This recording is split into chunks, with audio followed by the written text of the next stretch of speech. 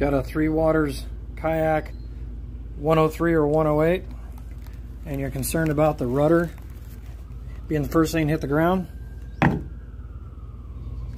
check out my YouTube video on this.